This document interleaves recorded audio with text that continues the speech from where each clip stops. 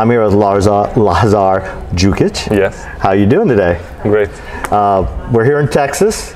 Your first time in Texas, right? Yes. Yes. Uh, after the this is the second time you've been to the states. Third. Third time. First time I've got familiar with CrossFit. Yes. Second time I came for the CrossFit Games. Yep. And then third time with Rogue now. Yeah. And how was this time around? Uh, like the place was awesome and Mhm. everything was awesome, but um, competition for me didn't go as planned. Yeah. But it's it's okay. Yeah, a lot of athletes said that when we were talking about like how the, the, the Rogue Invitational didn't go as planned. And uh, do you think that's more because the programming, or more because maybe you didn't train as much as hard as you did for going to the games? No, actually, I felt uh, really good coming Mhm. to the Rogue, and uh, I I've been training as hard as for the games, uh, and I've uh, made a switch with my programming. Mhm. So uh, I've been doing uh, something different, and I think it's it's kind of helping me transfer from uh, one side of spectrum, like being just aerobic athlete, to Mhm. to being like more all around Mhm. athlete. So. Uh, uh, why Rogue didn't went my way? Well, I think it's uh, just because of the like seven. There were seven events Mhm. at the games. There was 15, Mhm. and uh, I'm more of a volume kind of guy. Gotcha. And like if there's a, there's seven events and there's three power output and uh, one lifting Mhm. event, like it's it's not really Yeah. playing in, into my strengths. Sure. And if there's like 15 events, you can cover that up.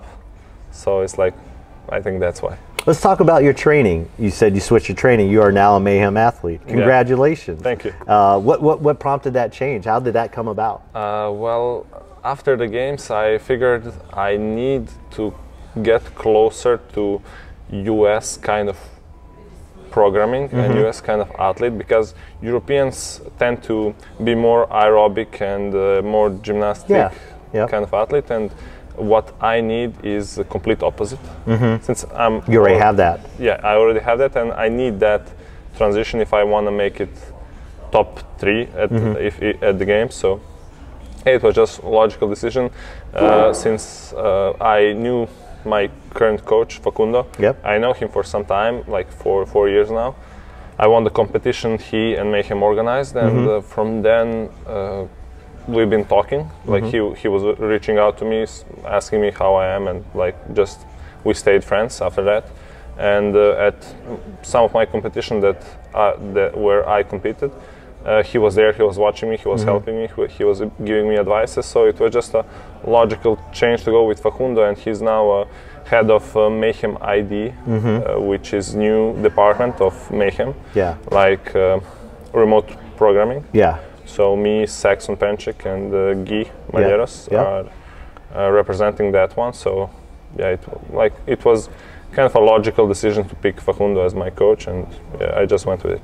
Yeah, that's your, and, and you obviously got some new training partners. Oh yeah, So obviously Guy is one, and then uh, uh, Mr. Rich Froning and Haley. Haley, yes. And how is that? How are those training sessions uh, with with those three? Obviously, especially you and Guy, kind of being you know, you know, new to that environment. Uh, talk about how intense those training sessions are. Well, uh, I started when I, when I first came to Cookeville. I started training with Guy. Yeah. Uh, Rich was not there at the time, Uh-huh. and uh, there was just me, Guy, and Haley at, at the barn.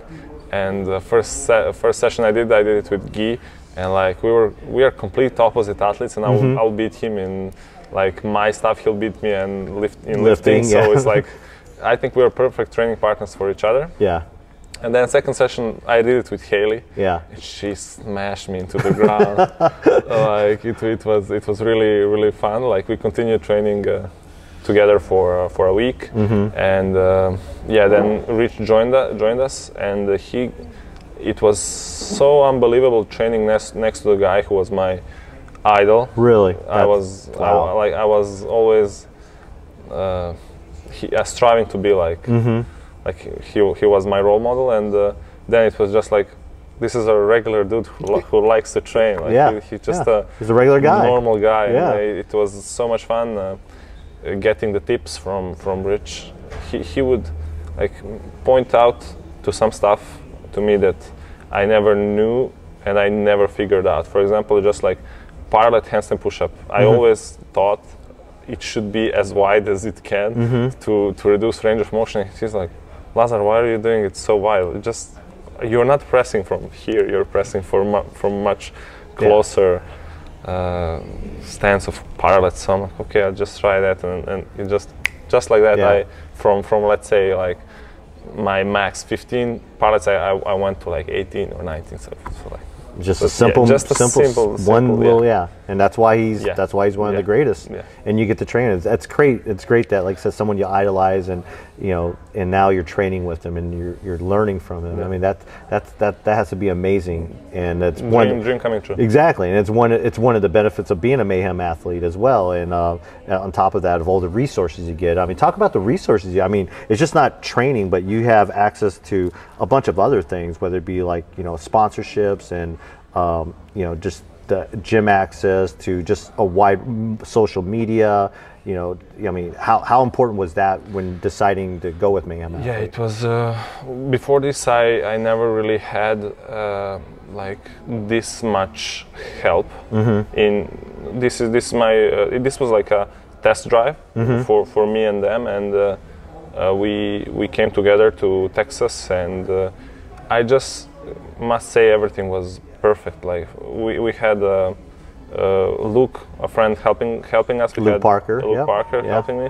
I mean, Guy, Facundo was coaching us. Uh, everybody else was helping as much as they could. Like we had a media team, like Mm-hmm. making making like professional material for us for our social media, for like uh, everything you can imagine from from like mm, being a mayhem athlete. Like it, it is how it, how how it looks. So, yeah, yeah. that's great. That's great. Let's talk about your games. Your, um, you said, it was, I mean, you kind of, I wouldn't say you came out of nowhere, but people in the United States or even people that followed online, they didn't know who you were. Um, but then you kind of burst onto the scene, and and you know, I mean, you and your your brother won. Your brother did really well Yes. as well. Um, and uh, just talk about one sharing that moment with him and him being there. Uh, talk about that. So uh, it was f- funny story.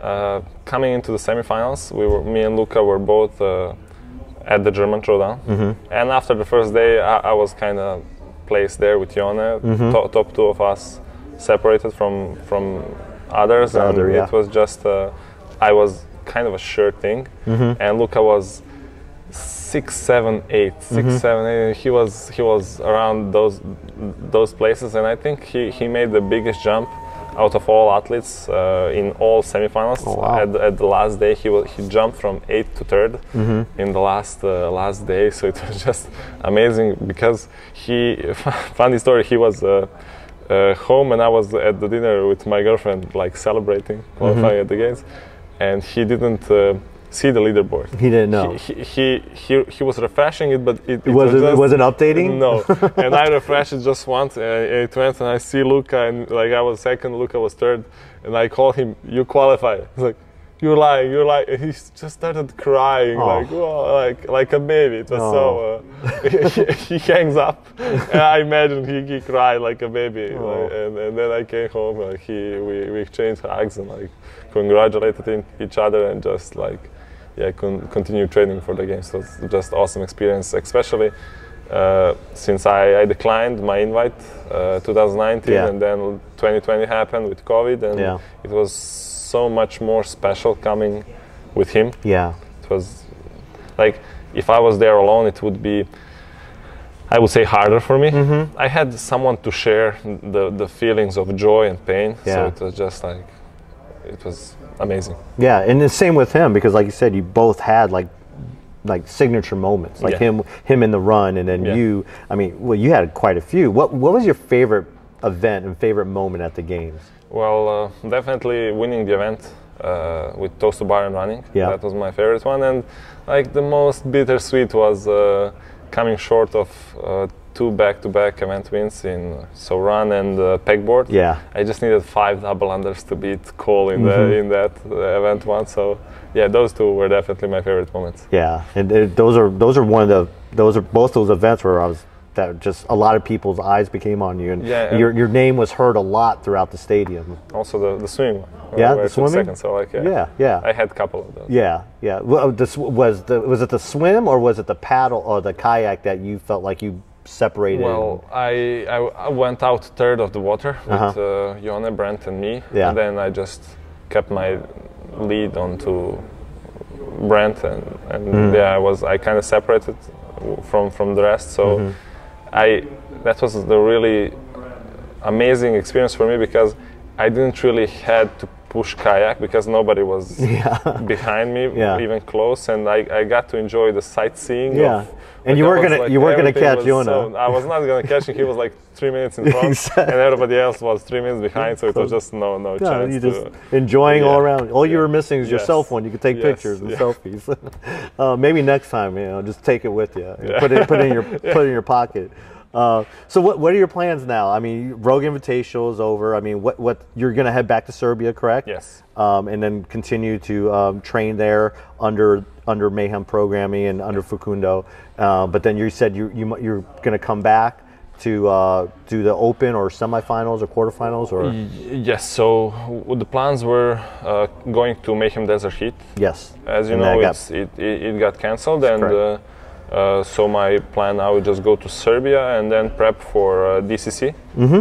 Uh, Yeah. From there, I will take a small off season until the Open and just uh, focus on my uh, weaknesses, just uh, like sprinting stuff and just uh, lifting. Mm-hmm. So when the Open starts, I, w- I will kind of get back to CrossFit training yeah. and uh, I hope to get back to Cookeville and US uh, probably a semi-final prep or, or, or games prep. We'll Mm-hmm. Yeah. see. Yeah. We'll see. Well, that's cool. And talk about uh, this is a really cool, unique, and I think most people, if they follow social media, especially uh, Guy's social media, you and Guy have you got you you're you're almost different. You're you guys are both different, but it seems like you guys have a very unique friendship. It- I it- mean, Yeah, that guy is just. Uh, if if we could, we we live the three three of us live together. Me, Luke, Parker, and Guy. yeah. And In Brian's in Brian's in In Brian's, Brian's house, he doesn't even live there, he- but you guys yes, all live there. Yes, he, he said it became an athlete's dorm. yes. Yeah. And uh, if you could just put a camera there for 24 hours, it would have been a, a best comedy show ever. Yeah. Like it was just amazing. Uh, like I didn't know Guy, and uh, I, I don't think we really liked each other Mm-hmm. before we met. yeah. But when we met, uh, we just clicked. It, it was it, it's really nice to have him as a friend and as a training partner. I hope in the future also. Yeah. So uh, we, we just became really good friends, and it took off like just amazing. I think we just came up with the next mayhem show for YouTube. Rory, what we do, Ro, is we put him and Guy in Brian Brian Nelson's house. Brian Nelson is the CFO of Mayhem, and he's a great guy, really, really good. And then Luke, we just that's it. A, a an American, a Serbian, and a Uh, Brazilian yes, all in one yes, house. I think that's the next yes, Mayhem reality yes. TV show. And uh, like Guy pulled off some uh, pranks on on Luke. So funny. He made a. a uh, he went on onto YouTube and put a cracked uh, television uh, screen. Oh. So, so Luke came out of the shower. He's like, "What's happening?" And he's like, "I'm so sorry. I threw a pillow." So he Luke thought the TV was broken. was broken. was so funny. Like tho- those two guys are real, real fun. Good, good. Well, hey, thanks for sharing, uh, sharing with, sitting down with us. We look forward to seeing you progress even more. I mean, it's good. I have a feeling 2022 is going to be a really Yeah. good year for you. So again, thanks a lot. Thank you.